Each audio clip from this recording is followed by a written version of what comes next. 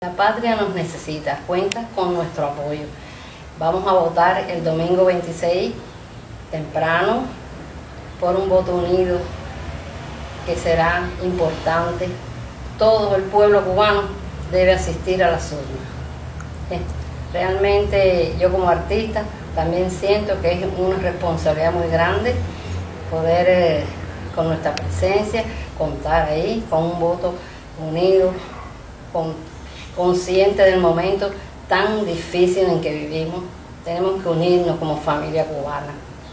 Ese es mi pronunciamiento.